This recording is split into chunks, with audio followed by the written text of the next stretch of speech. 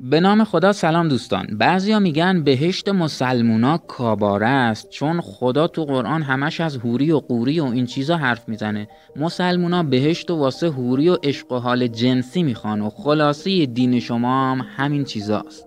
تو این برنامه می‌خوایم یه پاسخ خیلی قشنگ و ظریف و البته محکم و دندان شکن به این حرفا بدیم و مسخره بودن این حرفا رو واسهتون آشکار کنیم و این مسئله بهشت و هوری و این چیزا هم تو ذهنتون حل بشه.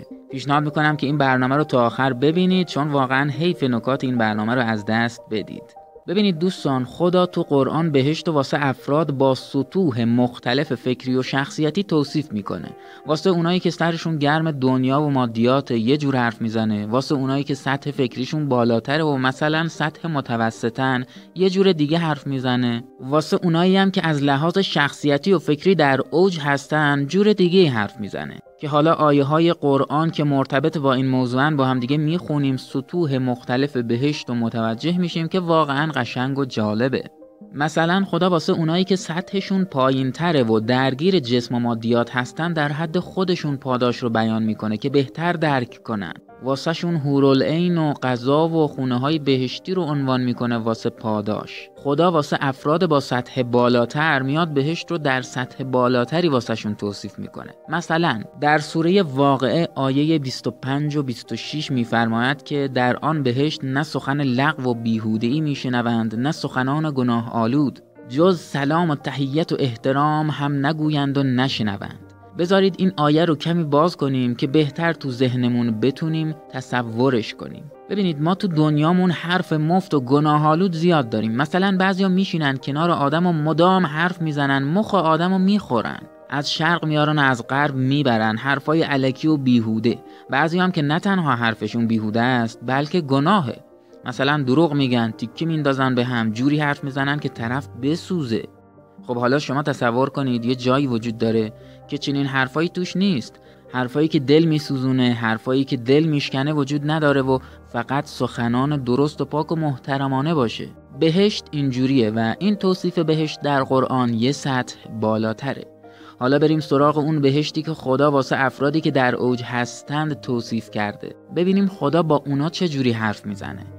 خدا در قرآن سوره قمر آیه 54 و 55 میفرماید ان المتقین فی جنات و نهر فی مقعد صدق عند ملیک مقتدر. یقینا اهل تقوا در باغها و نهرهای بهشتی جای دارند. در منزلگاه صدق و حقیقت نزد خداوند مالک مقتدر. خب اینجا حرف از هوری و غلام و غذا و این چیزاست؟ نه. از بهشت حرف می‌زنه اما توصیفش سطح بالاتریه. از صدق و صداقت و راستی حرف می‌زنه از حقیقت حرف می‌زنه.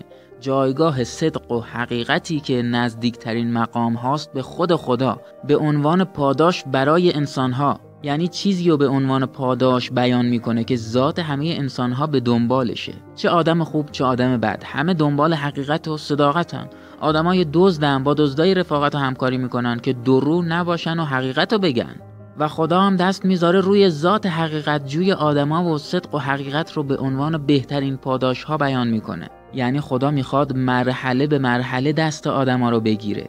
کسی که سرگرم دنیا و عشق و حال مادیه بهش میگه اگه بهتر و پاکتر زندگی کنی تو بهشت بهتر از اینا بهت میدیم. حوری و غذای بهشتی و خونه بهشتی هست. بعد که اون آدم کمی خودشو بیشتر پیدا کرد و اومد بالاتر خدا بهش میگه ببین تو بهشت علاوه بر حوری و خونه بهشتی و این چیزا ویژگی های دیگه هم وجود داره. تو بهشت فکر ناپاک و حرف ناپاک و بد نیست. همه حرفا پاک و درسته.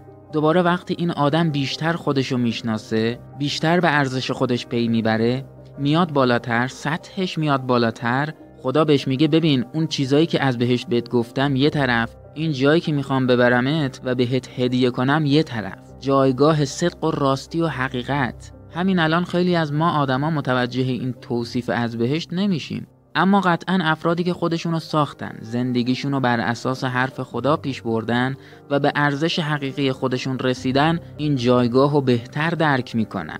حالا هی میان میگن که خدا فقط از هوری حرف زده. هی مسلمونا رو مسخره می‌کنن. ولی در اصل خودشونو مسخره می‌کنن. چون بدون مطالعه یه چیزی شنیدن بعد میان اونو تکرار می‌کنن. هم به خودشون هم به کسانی که حرفشون رو گوش میدن جفا می‌کنن. البته بعضیا هم عمدن میان از این حرفا می‌زنن که ذهن مردم رو درگیر کنن و دین و ایمان مردم رو سست کنن.